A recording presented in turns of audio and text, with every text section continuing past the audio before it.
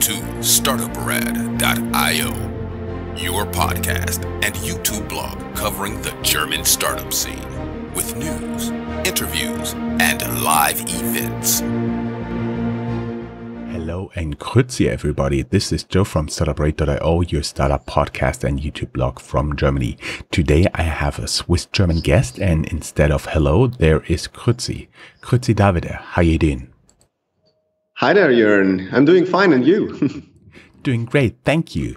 Today I invited you because you have a you're the co-founder of the startup Cyreen, headquartered in Hessen in lovely Wiesbaden.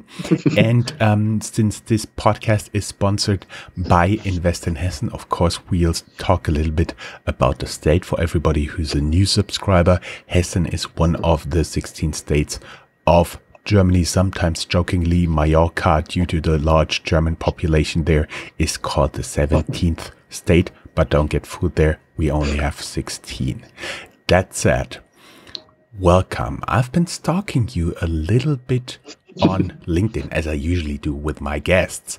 And it turns out uh, you've been a pretty classic guy working in a Swiss bank. How did you end up providing analytics for physical shopping carts?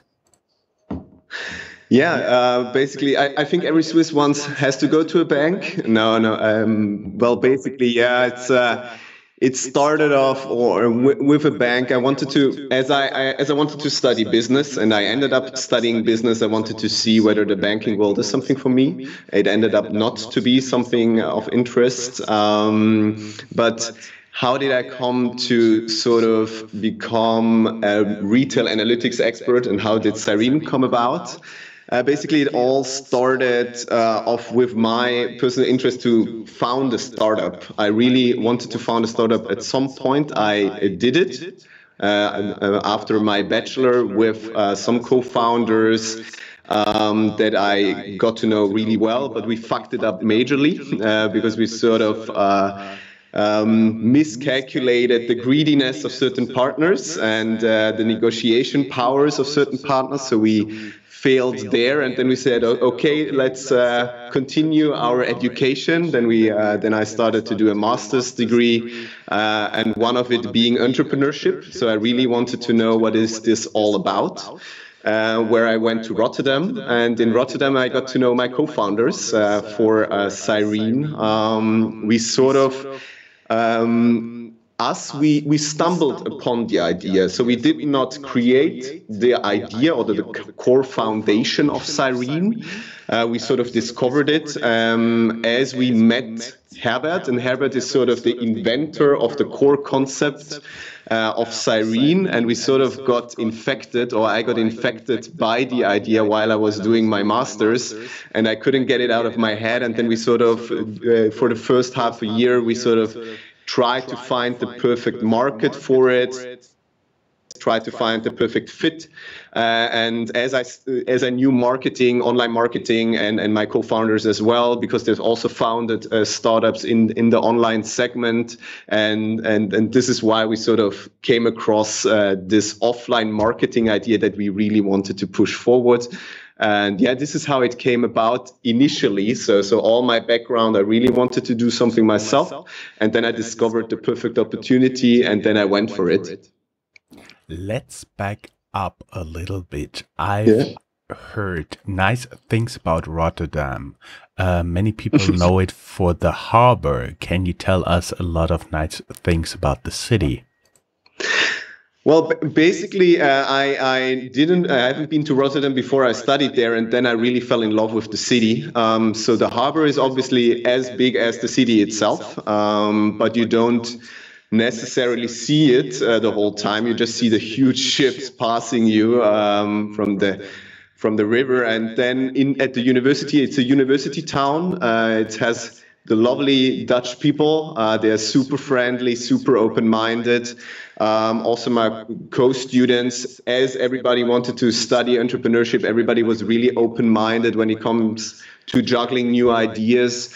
Um, the, the city itself, lovely food, uh, not necessarily the Dutch food in itself, because this is sort of uh, it's snacks and, and fast food, but I have to say they can cook really, really well when it comes to urban uh, kitchen. So I can really recommend it. Um, it's also really close to Amsterdam. It's like half an hour if you want to jump to the uh, city central. And yeah, it's perfect.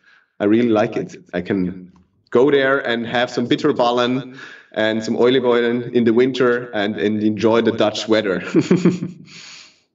Well, Dutch weather is not necessarily worse than the German weather or the British yes, weather. That said, um, you've been talking about you screwed up one startup. What did you do and what went wrong? And especially important, what did you learn from there? Well, we, we basically were in Switzerland. So the startup was founded in Switzerland, and we really wanted to tap into the market that the Swiss uh, love to commute. And we sort of saw the idea uh, or a similar idea in, uh, in, in the US already, which is ClassPass. So we sort of wanted to introduce a Bahncard 100, so a card where you can uh, you go unlimited and use something uh, uh, with unlimited power. And we wanted to introduce it for the fitness community uh, community because in in in Switzerland we didn't have it. We we did have a lot of small chains, uh, fitness chains. But if you commuted from one city to the other, you basically could not do sports in the other city. So we said like, okay, uh, we want to introduce this in in Switzerland, uh, but we said also. Um, this has already been done, so uh, someone has already come up with this idea. So we sort of became a franchisee. So we founded the company and, and licensed the idea or, or the brand uh, from from a Dutch uh, from in the Netherlands, and then we sort of fucked it up because we sort of we had an agreement with them. We were really successful in acquiring gyms, and and we wanted to go live with the with the customer side. But then they became really greedy and sort of tried to renegotiate the whole contract uh, of using their brand. And then we said, like, this is not a lucrative business anymore. And so we backed out. It was a hard decision. Um, long nights. We looked each other deep in the eye and said, like, okay, are we really going to finish? Are we going to, this whole year, do we say, okay, we cut it off? And we said, like, yes, we do uh, because it's the right way to do. We wanted to be flexible. We wanted to be self-sufficient. We want to do our own thing, and uh, this is the learning out of it. So you sort of. Uh, in the beginning, you, you can really go uh, for it. You can trust each other, but at some point, you also have to write stuff down and, and get the legal framework uh, before it, it, hits the like it, before it actually seems to be successful as well. So you sort of uh, yeah, you have to have to do the groundwork. Let me back off once again a little bit. You yeah. know, if there's no detours, it's not startuprad.io. We are right now, as we record this in the morning of the 16th of September, we are in the podcast charts of Germany, Indonesia, and Singapore. And I feel the need to explain to all people not from Germany what Bahncard 100 actually means, because it's, it's, a, it's a typical, every German knows it, but outside of Germany, there, there may be some cultural reference references missing. So basically, Die Bahn is the German railway operator, former monopolist Deutsche Bahn, and you can basically buy frequent customers discount cards. They're called Bahncard.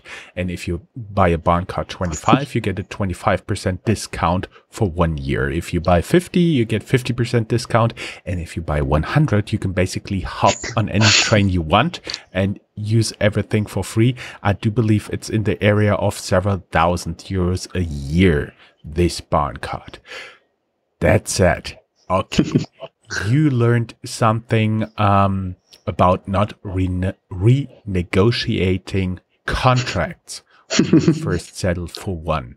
That's fine. And I, I was, I, I'm a little bit curious. Did your franchisee giver, the American company that wanted to renegotiate the contract, did they actually succeed in terms of uh, getting a toehold in Europe after you guys uh, said no way?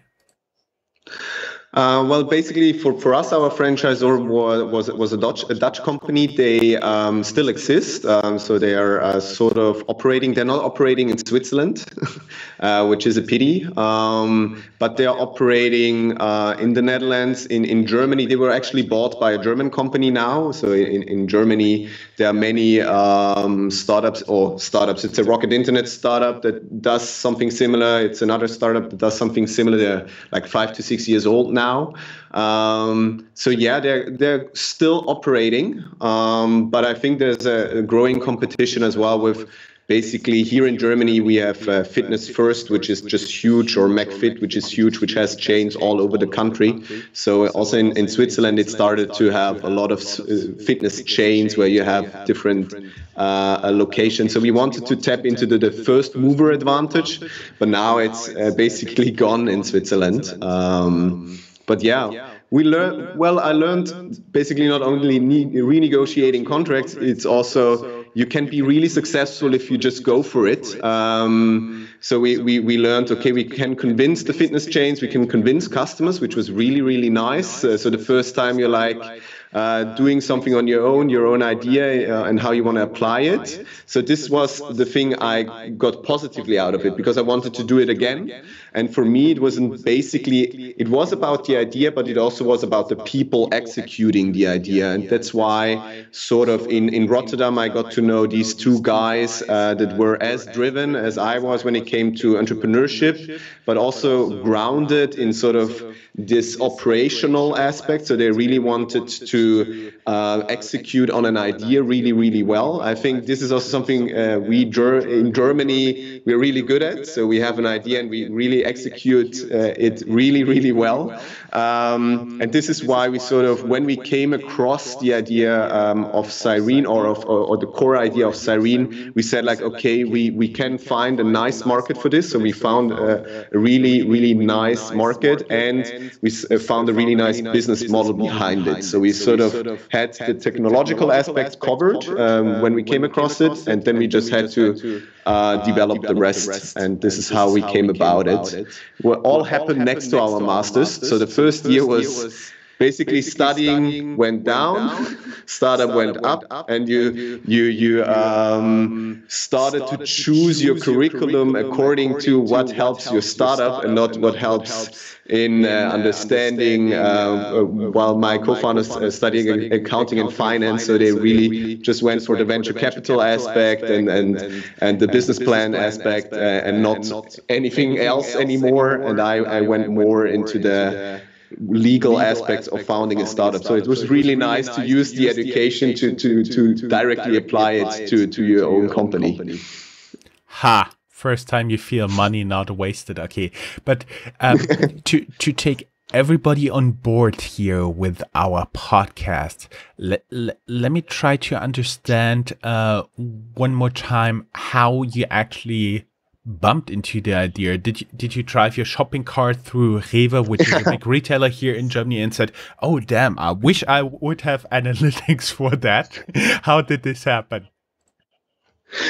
Yeah, yeah well, basically, well, basically um, um, to, be honest, to be honest, one of my co-founders was my flatmate. Uh, so we uh, lived so we together, lived in Rotterdam, Rotterdam and, he came across uh, Herbert, and uh, they sort of talked about this idea um, of um, Cyreen, um, and he sort of got infected first. Uh, you have to imagine he was then really hyped, and he was like, "Okay, Davide, I have to get you on board as well." And he was nagging me the whole time to to also meet him and meet up with him, and then we sort of met met up as well and we met up uh, in our apartment on the couch and discussed uh, the whole aspects. And, and I invested uh, several months into also looking into the markets as well. And at some point, I, I believe it was January or February, we all said like, okay, let's go for it. We, we really want to go do it uh, because uh, we had been like the senior aspect um, in our team with Herbert and, and, and the younger, more driven aspect with uh, Ben Sill and I.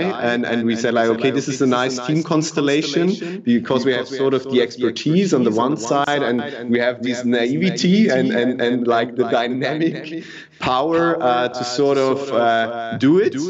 And, and, and to be honest, um, why did it become um, a company that does retail analytics in supermarkets? Uh, for me, um, I did not have that much to do with uh, retail before I, I, came across this idea, but I had a lot to do with marketing, and I had a lot to do with like uh, structuring marketing campaigns. Where, as I worked for an agency, as I uh, did it for for the startup before, and we sort of um, saw that there is a need in the offline segment. What do I mean with offline? So everything that's not Google, Facebook, and Co. So so banners, um, TV, radio. There's something to do in marketing offline to make it more transparent, to make it more analytical.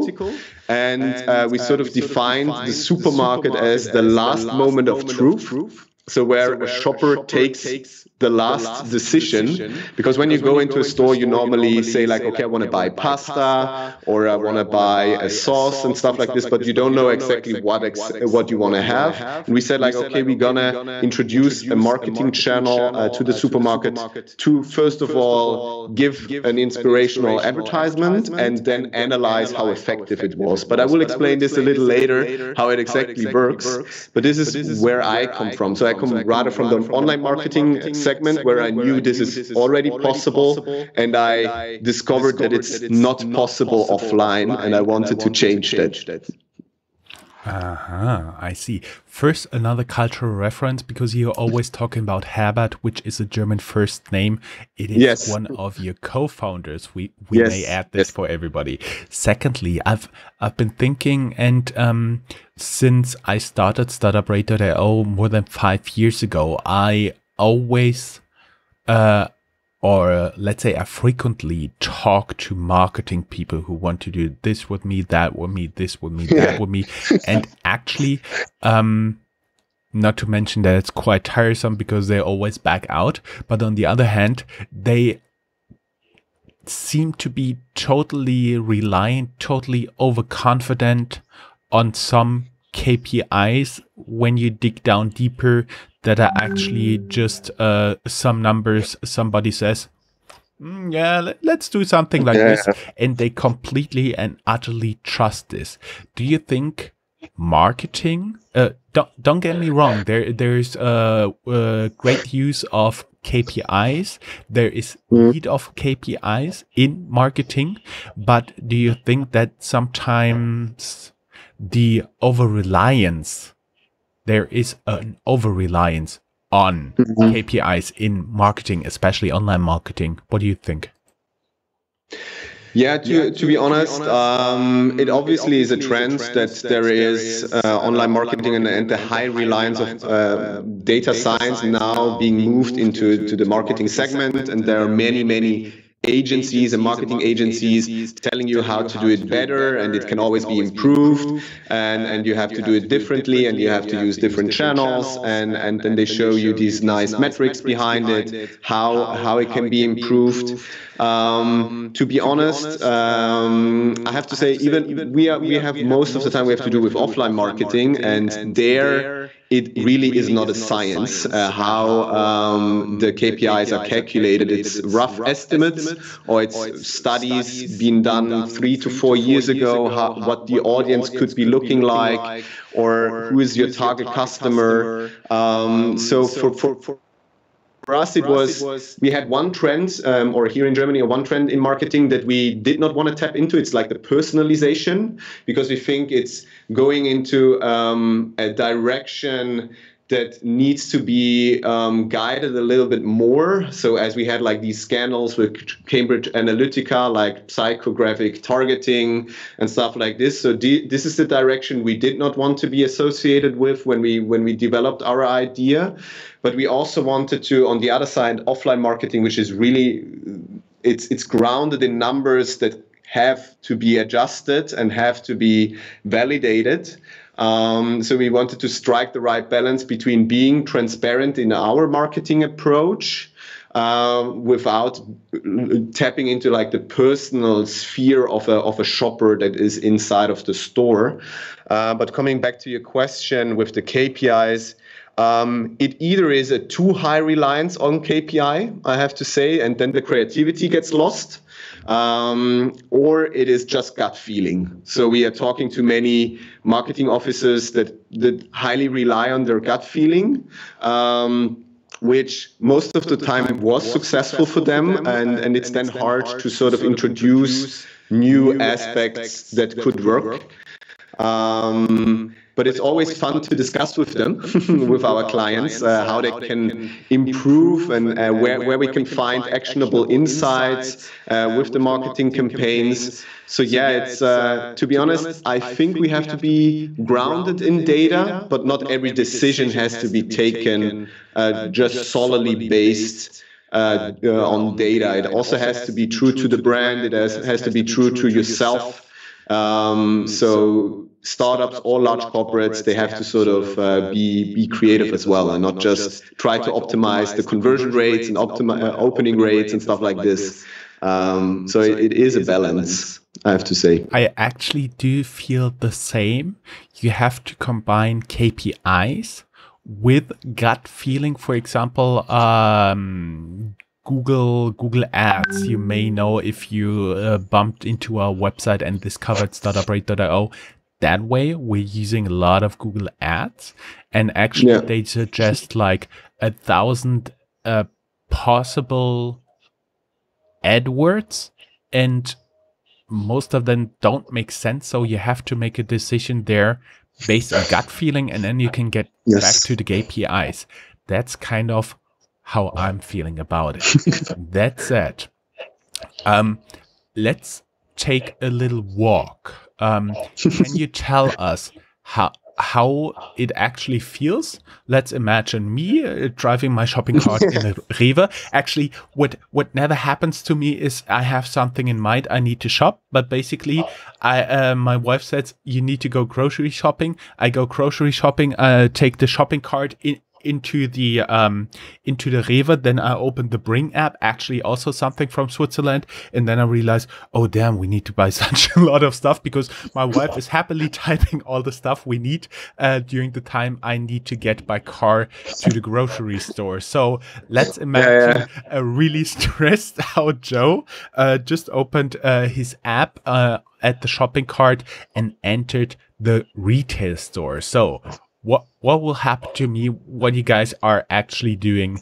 um to to analyze this yeah, yeah happy, happy to guide you through our uh, customer journey. Um, well, first of all, you, you mentioned a really nice point, and this is why personalization uh, in the supermarket doesn't work because you have a shopping mission and it's uh, your wife's uh, uh, bring list.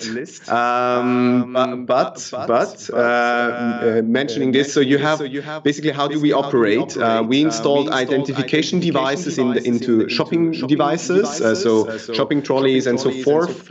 And our system is basically composed of, or our hardware aspect is its screens. So really um, um, nice looking screens installed of the shopping aisles. So you basically where you walk past, where the products are next uh, to you. Uh, we have like around five to six screens uh, inside of stores. And what happens is when you are in front of a screen, like five to six meters, it identifies not you, Jörn, it identifies the shopping trolley 157 and it defines I, I see. So it doesn't define Joe, but a stressed out guy with, uh, with a start of a beard who's losing his, his top hair. And actually, you track this guy and not me personally, right?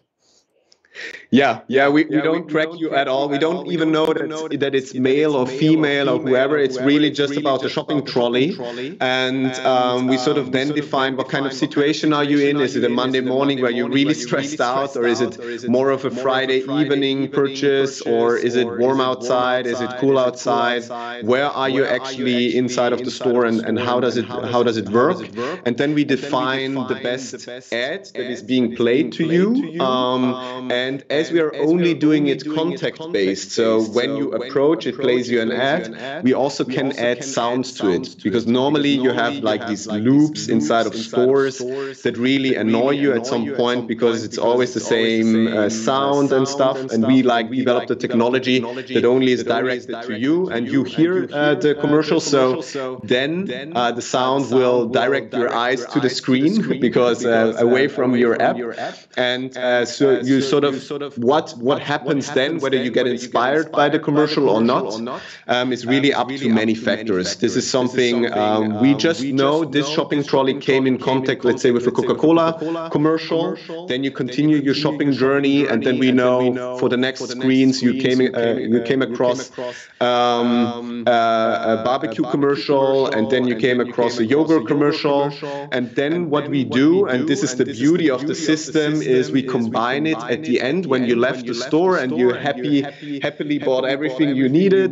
Um, then we combine it with your uh, basket. So we basically know, okay, shopping trolley 157 bought Coca-Cola um, and then we have a huge data set of evaluating whether it was due to the commercial or not.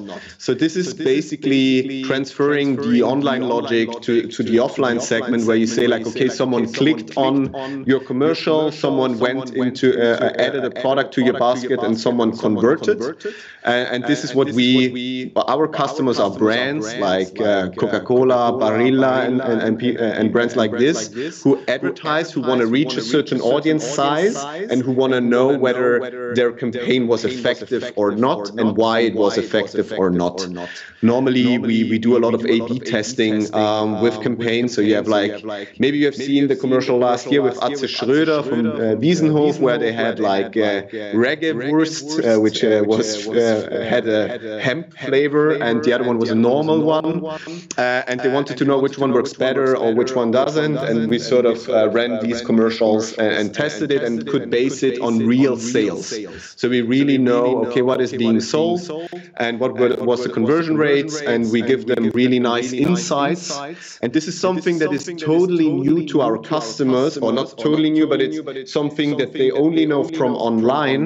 And as our customers are so-called fast-moving consumer goods, so FMCG clients, so uh, products that you normally buy in supermarkets, they do not normally advertise online. So Procter & Gamble spends a billion of marketing sales in Germany alone, and 95% is on TV ads.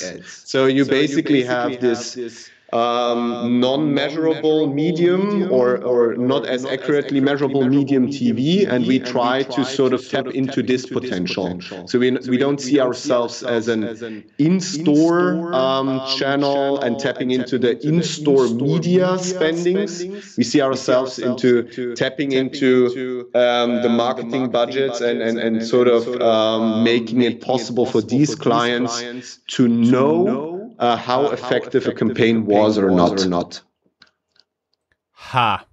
First, I have to say, damn, I'm getting hungry here. Secondly, uh, we may also add again for cultural references.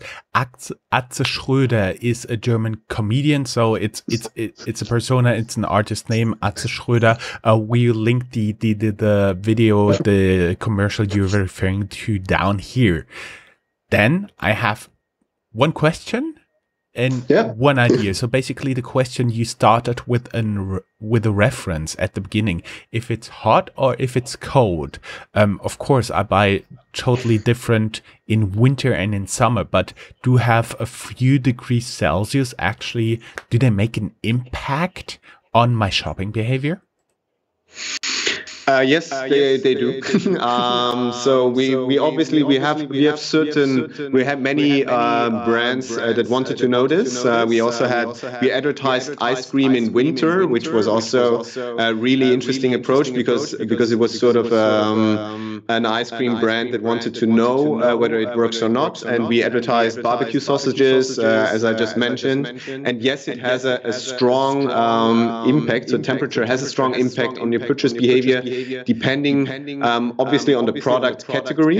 Um, so we, we found it obviously for, for ice cream, for barbecue, but also for other uh, products that it has an opposite effect. So the colder it gets, the, the better advertisement works. So we so we normally tell our clients um, it it has a like obviously you sell more if the weather is good when it comes to sausages, or obviously you sell more uh, when it comes to ice cream. But it doesn't necessarily mean that your your your advertisement works better, so that you convert more people uh, when it's hot. Because if everybody wants to buy ice cream anyway, um, you have this uh, baseline that that wants to go for it. But then the question is, is it also then effective to run a campaign or not? And and this is like the questions that we try to answer together with them um, to sort of say like, okay, maybe it was, maybe it wasn't. Um, yeah, but that's basically where we go. But yes, your your shopping behavior is highly dependent on situational factors. So what kind of mood you're in, uh, what time it is a day, um, and and what uh, what weekday it is, uh, and where you're actually in the store, and it is also dependent on what kind of marketing impressions you had before. So and and this is this is this is the beauty of the system.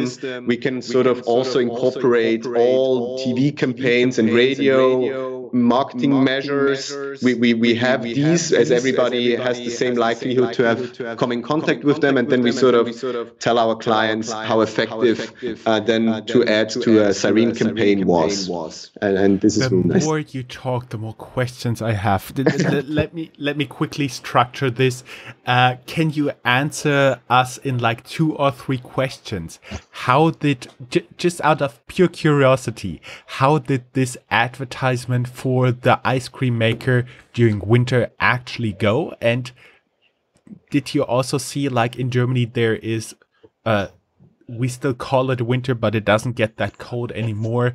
Uh, there are certain uh, types of ice cream you get mostly in winter, which are very delicious, like gingerbread flavor and ah, all that good stuff. Um, did this have an impact? And then comes my idea that I was referring to like five minutes ago. Yeah, um, yeah um, so basically, basically for, for the winter, for the winter campaign, campaign um, to be honest, it had, more, more of an um, like the temperature did not have that much of a significance uh, during that period of time. It really was the flavors uh, that uh, uh spiked, um, or certain flavors that spiked, cinnamon, uh, obviously, and certain flavors that uh, rather were not as effective. Um, but the thing that Germans most respond to, and in combination with our advertisement as well, and it does not come as a surprise, is discounts. so if something is on discount, um, yeah, you basically basically sells 200% more. And then it's always the question whether you want to follow up with a with a with a campaign. So whether you want to mention the discount or not, because we can like hyper localize uh, our advertisements uh, to sort of have the price mentioned or have it not mentioned. And this is like the the best combination uh, in Germany when you sort of mention today you save 20% on whatsoever that the people respond respond the most to it, also uh, to to ice cream. Um, to be honest, um, so I think as we as in Germany, Aldi and Lidl and stuff became big, um, the Germans are are prone to be uh, open for discounts the most. I have to say. that was what I would have guessed, and I would have also made the reference to Aldi and Lidl, two German discounters who are actually active I think almost across the world. Uh, of course, you'll find a link in the show notes. That said, when you've been talking, I had an idea because have you ever thought of making it useful or interactive? What I had in mind is when I get into the shopping cart, I usually have my very hyperactive 14 month old baby boy in the shopping cart.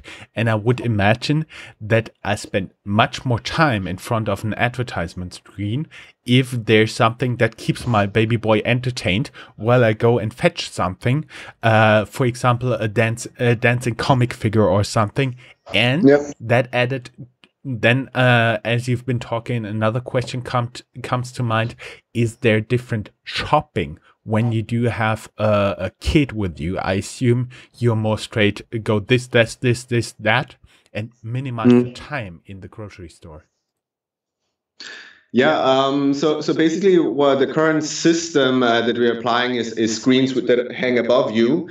Uh, so the the interaction uh, capabilities um, there are limited, but we can always expand the ecosystem of the system uh, of and and the product is actually called not Cyreen. That's the company. The product is called CAP, which means connecting ad impressions with purchase. So it's an acronym uh, for that one, and we can always expand the ecosystem uh, there as we sort of developed everything ourselves. Um, so we don't have like any any puzzle pieces that we don't know of.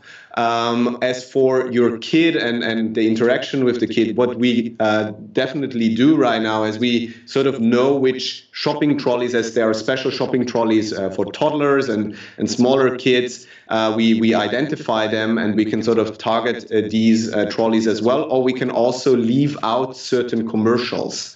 Because um, one of the only spaces in, in Germany, like if you want to advertise alcohol and stuff like this, you can sort of then say like, no, we don't advertise it to these uh, groups of people uh, because we don't want to want to influence someone uh, there. Um, but the interactive capabilities, we can we we are definitely going into uh, R and D in that direction. We are expand, expanding there. Um, so it's a nice input. Uh, I really like it, and we, we can we can look into this. And yeah, to be honest, um, for for us, how how did it come about? Like with the story. Um, for us, it was 2000. Uh, like when we started, while our master, we had to sort of get, and this is also why we located uh, here in uh, Germany. Um, we had to get like retailers on board, but we also had to get uh, media agencies on board because we do not normally talk to our clients like uh, the the. Barilla and and uh, and other brands they are normally hosted by or uh, guided by media agencies and this these are the people that we work with the most. And these also have really creative ideas and and also want to look at the whole customer journey so not only the store. And this is this is really interesting for us as well. Yeah that is a quote worth to be put on the blog post. We don't usually talk to our clients. Love that. You've been already referring to uh, your location here in Germany. Um, you're not located in Frankfurt, but in Wiesbaden. For everybody who's yep. not from Germany, that is the capital of the state of Hessen where yes. Frankfurt is located. And since this is sponsored by Invest in Hessen, this interview, what does actually Hessen mean for you and why did you locate here? Well, basically, as I'm Swiss, um, I just came to Frankfurt. Like before Cyreen, I came to Frankfurt uh, on holiday or to, to, to, to meet friends or to fly from Frankfurt because it's cheaper than flying from Zurich. Um, but when it all changed uh, with Cyreen, so we basically, why, why Hessen, why Wiesbaden? It has several reasons, to be honest. So one reason is as we found our institutional investor here in Hessen. Um, together with a, with a business angel uh, that's situated in Switzerland. Um, then we found a strong academic partner here in Hessen, which is the European Business School, that we work with closely as we sort of um, created an academic board constituting of the European Business School, the University of St. Gallen, and the Babson College uh, in America as well.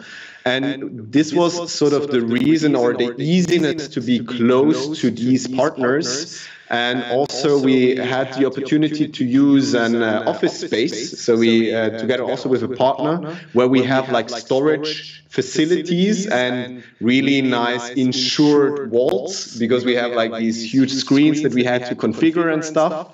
So we said like, okay, let's jump on this opportunity to be located in Wiesbaden. Wiesbaden is beautiful. It's actually also located quite nicely to Mainz, which is a student town. So I actually, even though I've never been to Wiesbaden before, I, uh, I moved with the office uh, of Cyreen. I fell in love with the city. I fell in love with the region. I fell in love obviously with the white wine that is uh, being produced here as well. Uh, it's it's it's lo- as a Swiss, it was unusual to sort of become an immigrant in Germany, but uh, I haven't regretted it since. That is good to hear. Especially, I like that you mention uh, Mainz because it's my native city, and of course, Wiesbaden is very beautiful. They have a lot of towns with very a uh, lot of places in the town with very nice, very old villas and places, and they even have a casino there. Whew, that was a long interview. We're running now at 39 minutes. Just want to say, Davide, thank you. It was just a pleasure having you here. Um, thank you very much and hope to hear back from you again. Yeah, yeah thank, thank, you, Ian. Uh, thank you for the opportunity to introduce you guys uh, to Cyreen and what we're doing here. Yeah. That's all, folks. Find more news, streams, events, and interviews at www.startuprad.io. Remember, sharing is caring.